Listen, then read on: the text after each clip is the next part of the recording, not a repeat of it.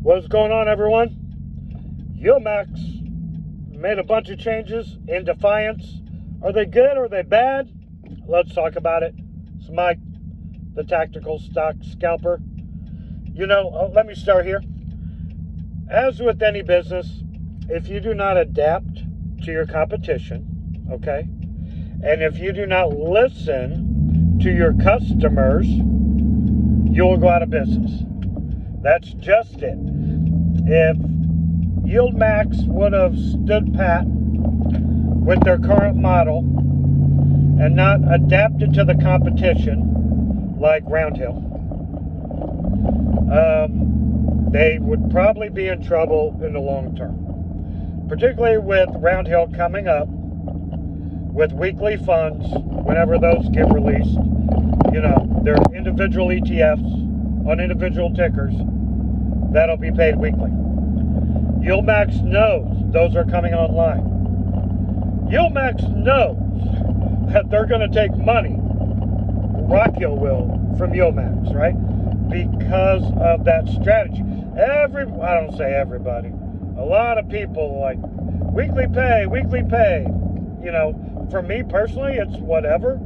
Um, that's not an appeal for me as an investor, um, but it is to a lot of people. So, Yieldmax, listen to their customers, they adapt to the competition. That's a good thing as far as I'm concerned, that they don't stand pat, that they see the landscape for what it is, and they make the necessary changes to fit, you know, their model. Okay. Uh, YMAX and YMAG going to weekly distributions. For me, it's, am I excited about it? Well, no. Because, see, well, am I happy about it? Am I sad about it? I, am neither. I'm, I'm, neutral. Because I think it's a neutral play. Um, like, I sold out a YMAX yesterday, bought YMAG this morning. I did a video on why I did that uh, in my last video, so you have to look at that one. But my reasoning for buying uh, YMAG had nothing to do with changing to weekly pay. It was because it has seven funds. They're not going to add, hopefully, crap to it like they are doing currently with YMAX, right? Drawing the value down over time. They won't do that with YMAG, well, we hope, right? So, yeah, there's that. So that's why I went to YMAG. Had nothing to do with the weekly pay. For me, it's it's neutral, and I think it's a neutral move. People are like, oh my gosh, it's great. Then other people are like, this is horrible. I don't know, I'm in the middle. I think it's neutral. I could take it or leave it, and I don't think it's going to impact investing one way or the other. People say weekly, you know, paid weekly distributions, you can compound faster, maybe, but you know, I, I haven't put a calculator to it, so maybe it is, maybe it isn't. I don't know. Um, Defiance going to be paid weekly. Another one. Um, okay. Again, for me, neutral. Don't care. Now, um, I will say what has me a little concerned with IWMY, and I know they're changing their name to whatever. Um,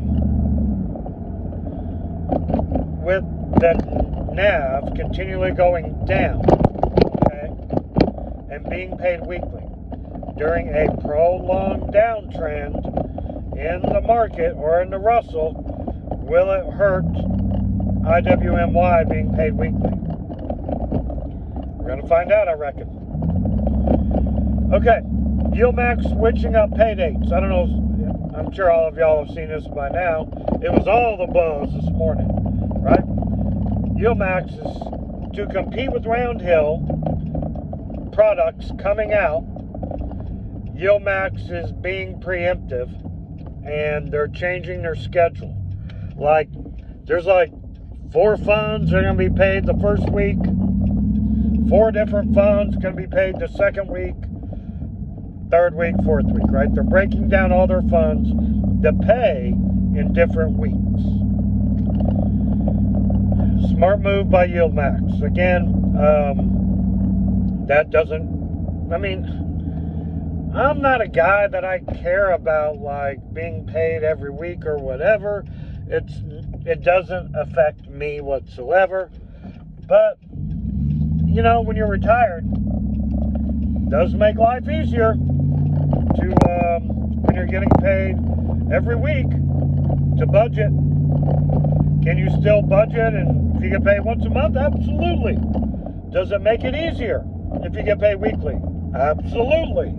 So yeah, um, it, it's good. It's fine.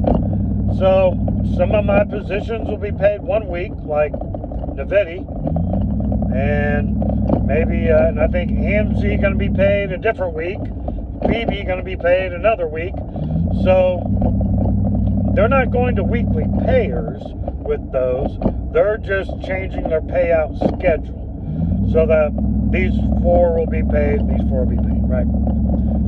I think it's a good move from a business standpoint to see what's coming down the pipeline from your competition.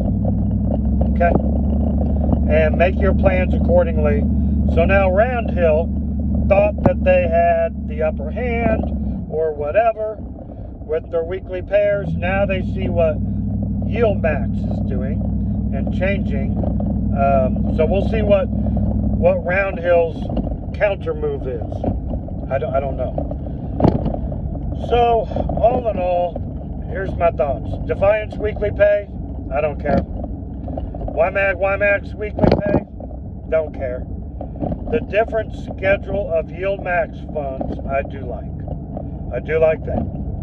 Um, and you know what? Is it the dopamine rush that everybody, I mean, people have been screaming from the rooftops to be paid weekly. And they've done it. I mean, does that mean that more people are going to get into yield max because of this? Are you going to sell your Roundhill positions to get back into yield max?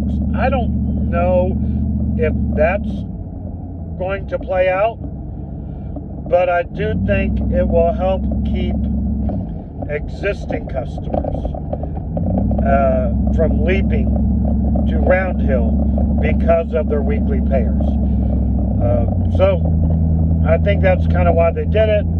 I don't know if it's really going to attract new customers or not. It may. It may. I don't know. But I think uh, it's a good move for them to keep their existing customer base. And as a business owner, I applaud the move. I think it's smart on their end to make these kind of adjustments.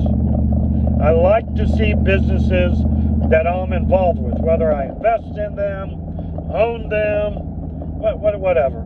Uh, silent partner, um, as an investor, like I got a couple other things that, that I, I have going on. Um, do I I like when I see those business owners making these kinds of adjustments to be fluid, know your competition, listen to your customers, and make changes accordingly. Good move, I think, Bye. I don't know, I think it's a great move. Let me know what you think. This is Mike, Tactical Stock Scalper.